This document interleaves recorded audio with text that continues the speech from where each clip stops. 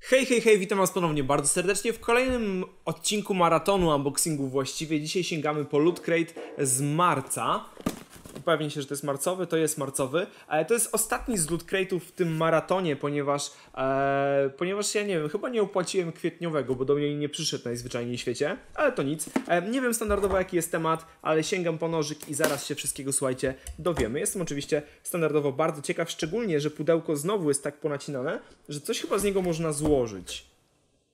Okej. Mamy figurkę przede wszystkim Wolverina, na, na pewno z uwagi na film.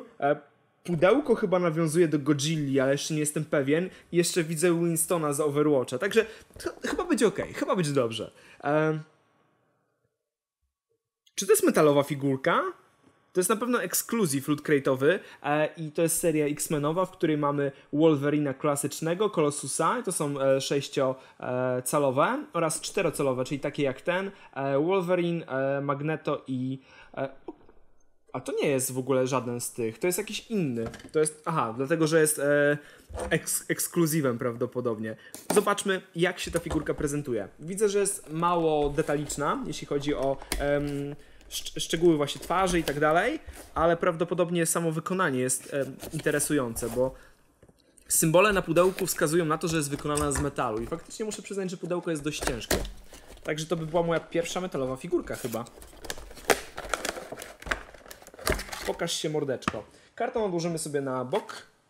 Tak, on jest, słuchajcie, ło Boże, ale masyw.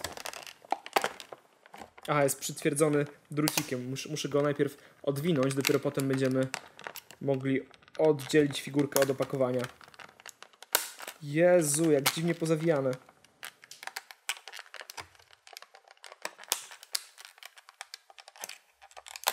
Uf, dobra, puściło.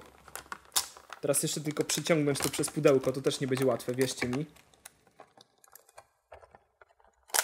Okej, poszło. Chodź, chodź do mnie.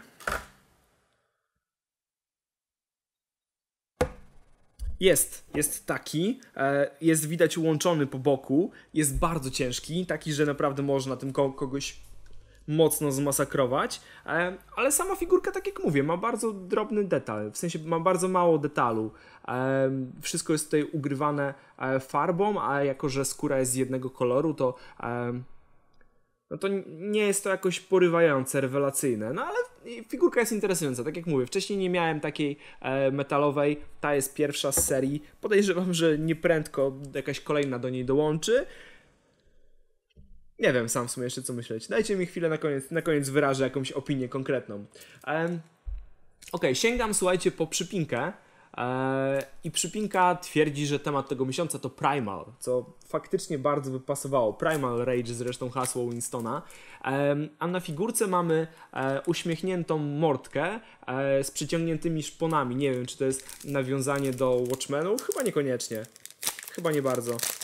No, ale przypinka standardowo dość ładna, chociaż jak na stan- standardy Loot Crate'a, raczej jedna z gorszych. E, sięgamy po koszulkę, skoro już o niej mówiliśmy.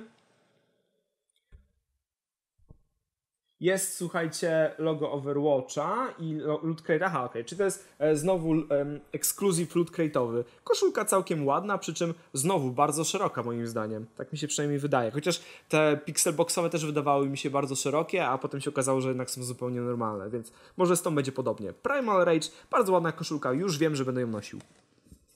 Właściwie to możemy ją sobie położyć tu na środku, żebyście ją cały czas widzieli. Odkładam figurkę, odkładam przypinkę. E, I tu mamy znowu coś metalowego. Co to jest? O, super! Mamy, słuchajcie, otwieracz do piwa w kształcie mordy Predatora. Fajny. E, Być może coś ze mną jest nie tak, ale rzeczy, które trafiają do mnie z Loot Crate'a i z Loot Gamingu, zwykle najbardziej, najbardziej cieszą mnie otwieracze do piwa i kieliszki. Ja, ja wiem, że łatwo wyciągnąć z tego jakieś wnioski, ale naprawdę to nie jest tak. Wierzcie mi, to nie jest tak. W każdym razie bardzo ładny.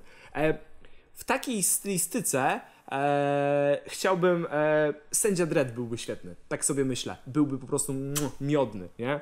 Ale Predator super. Jeszcze magnesu mi z tyłu brakuje. Już w ogóle byłoby idealnie. E,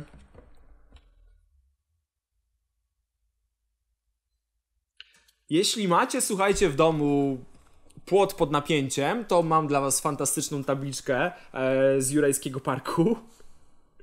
Ja na przykład w domu nie mam płotu pod napięciem. Być może czas jakiś sobie sprawić. W każdym razie do tego zachęca mnie ta, mnie ta tabliczka. Otworzę ją sobie. To jest taka normalna tabliczka ogrodowa, metalowa, więc... em, więc jeśli jesteście nastolatkiem przechodzącym okres buntu, to możecie sobie powiesić coś takiego na, na drzwiach e, do pokoju i potem krzyczeć Mamo, przecież nie możesz wchodzić, jest tabliczka pod napięciem, to mój pokój, wypadł. Płacę za twoje mieszkanie, czemu nie odrobiłeś lekcji? Znacie tą historię, nie będę wam opowiadał. Dobra, e, do tego dochodzi książeczka nie wiem, co tu się dzieje. Znowu oko. E, oni coś tu dobrego knują. Ja jeszcze nie sprawdziłem, bo jak gdyby wszystkie unboxingi, które nagrywam dla Was e, w ramach tego maratonu, e, powstają w jeden dzień, więc ja jeszcze nie wchodziłem na tą stronę.